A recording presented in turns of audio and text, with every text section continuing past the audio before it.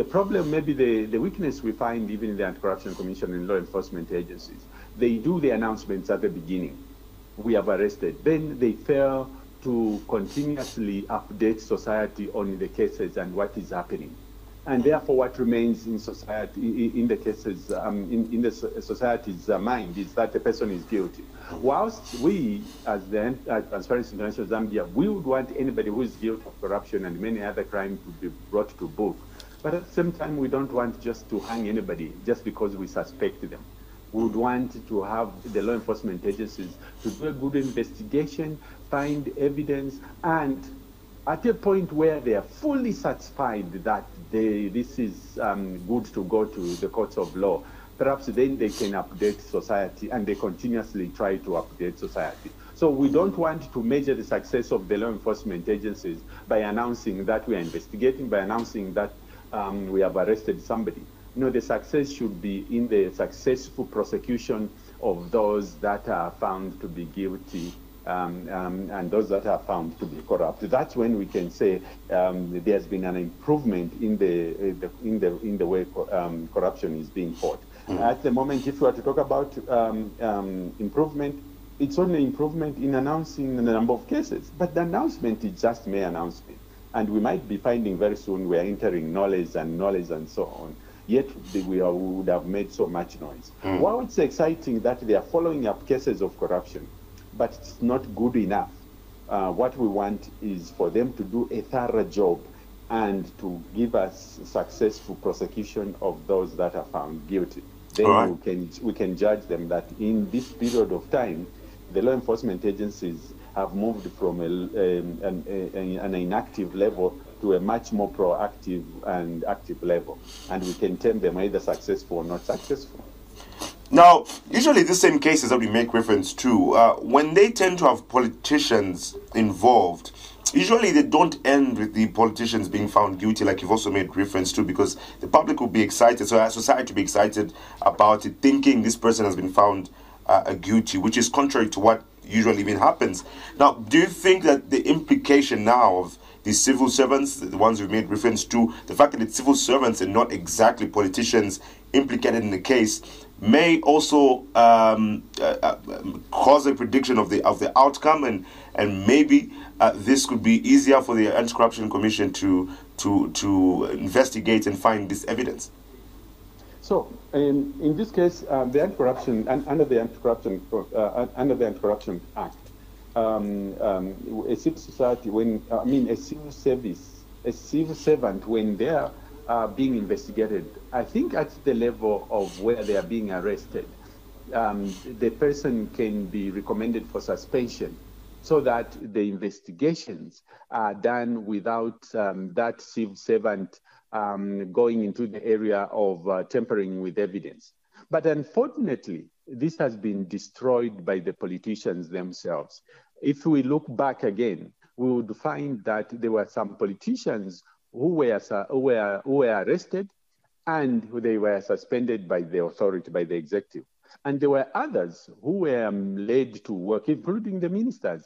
And the, the former presidents are referred to them like, unless they are found guilty, that's when they can go. But to help the investigations, uh, what should be done in a transparent and um, um, open manner should be to lead to let those civil servants who have been arrested to be on, um, um, on, on, leave until such a time the, the, the, um, the investigations are concluded. This should not only apply to the civil servants, but should apply also to um, to to, uh, to ministers and any other higher um, holding uh, official in government. That's when we can do a right job. But when you leave somebody working there and you investigate them, they are using the same computers there, they're using the same offices, they're, using, they're using the same systems, they can actually tamper with evidence. And that's why they can increase also to the failure of certain cases uh, that are taken to court by the Anti-Corruption Commission and other law enforcement agencies. So uh, the executive can help deal with this and the system itself can help um, enforce that anyone who is investigated to the point of being arrested, those people can be put on leave pending a further investigation or conclusion of the case.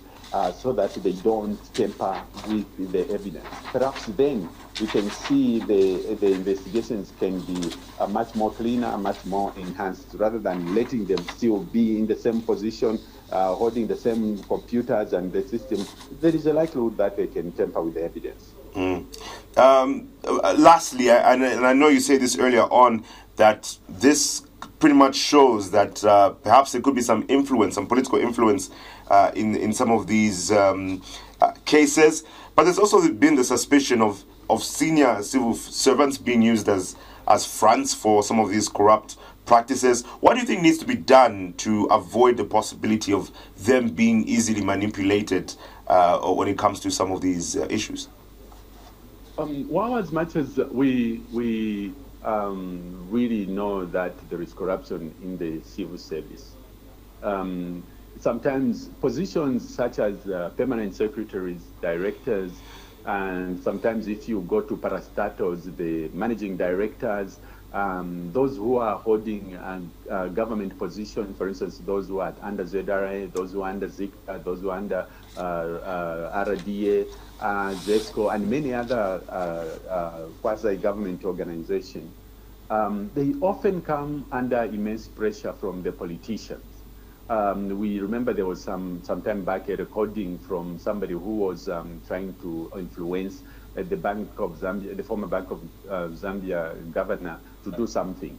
But they come under immense uh, pressure, and because you are working in a system, and in the way the system of government works, you receive so much commands, and when it comes from the highest office, or sometimes even when the highest office is misrepresented um, instructions coming from there forcefully that you have to obey. Sometimes it's difficult for you um, to uh, deny that. So we find that civil servants also, while they themselves they, they, they can be found to be uh, guilty of corruption, but they also, in all earnest, receive a lot of pressure from um, um, um the, uh, the, the, the politicians. That's why we keep saying if the civil service is left clean, only professionals that would improve much, much the civil service. And we were expecting this to start happening because with the current regime, when they were uh, in the opposition, they really uh, emphasized that they wanted to professionalize the civil service. And, but unfortunately, we are seeing the same trend where we have some of the permanent secretary are those people who were merely politicians who have been again appointed in those. And if you are a politician and you are appointed, you respond to your boss. So it's difficult for you to respond, for instance, to the secretary, to the to the cabinet, but you will pay much more allegiance actually um, to the one who appointed you, who is the president. So we are also um, fearful that the professionalization of civil service in Zambia um, is not yet to come in the few years uh, time. We need such a time when all these who are coming through uh, have risen through ranks, and when they rise through ranks, it's actually it's it's protecting their tenure of office. It's showing that they have come not because somebody has appointed them from being a political party leader to immediately becoming a PS, but somebody who has risen through ranks. And that way, they can be protected by the profession, not by the appointment. So we, we, we can indeed say politicians have a bigger influence on the civil servants. And we are hoping that President HH, um, although he has also appointed um, some politicians to head uh, some of these ministries, he can push towards that, um, the professionalization of the civil service. And once we do that, even in cases of abuse, cases of being, paying allegiance to other um, authorities other than the cabinet office might happen and the and political um, and, and, and the corruption might be reduced in the civil service. We hope that can happen. But as of now, we still have a long way to go.